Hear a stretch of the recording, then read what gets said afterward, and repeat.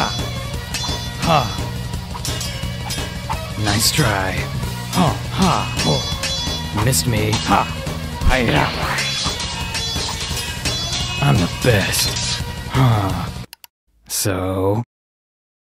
Pretty cool, huh? Um. That was great! I can't believe you actually did all those flips! Um. I didn't. That was all my editing skills. Wow! Wow. Got a problem over there, clown boy? All you did was put your hair on Jet Li. Yeah.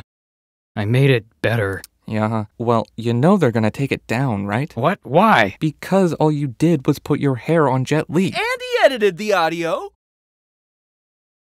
I think.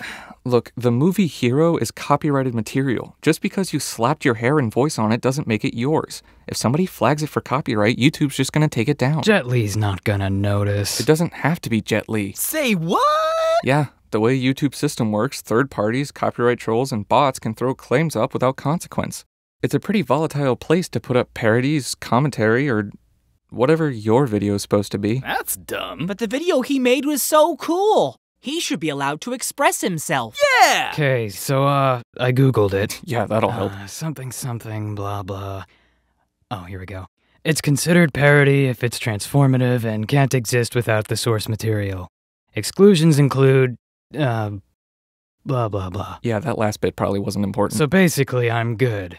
Are you? I'd say so. Thanks. No problem, buddy. We're not friends. Aw, be nice! No. The fact of the matter is what- stop. The fact of the matter is it wasn't transformative, nor did it make a statement about the original piece. Yeah, it did! It did?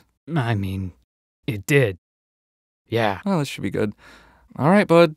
Let's hear it. Well, it isn't up to any of us to determine the creative worth of someone else's work, regardless of circumstance or intellectual property. Instead, it's a burden shouldered by various countries' institutions of law, one in which many content creators are unable to invest due to their statuses as small independent channels. I believe it is up to us not to bring down our fellow creators, but to lift each and every one of them up because the powers that be simply don't provide adequate protections for creative thought and individual expression. Huh. Huh. Huh. Well, damn, that's that's a good point. And that is why you're zero three. Suck it. yeah. Try opening your video, zero one. What? Why? They took down my video? Oh, what? No way! Was it Jet Li? No, just some dude on a personal Gmail account. Oh, then just dispute it. I did. YouTube sided with the guy. Wait, really? They believe some dude's personal account? Apparently. That's stupid. YouTube sucks. Yeah, I hate YouTube. YouTube's the worst. Yeah, YouTube's a bunch of doo doo heads! I'm sorry, I got a little heated. It's okay, buddy. What am I supposed to do now? Why don't you make your own website and put it there? Because that costs money.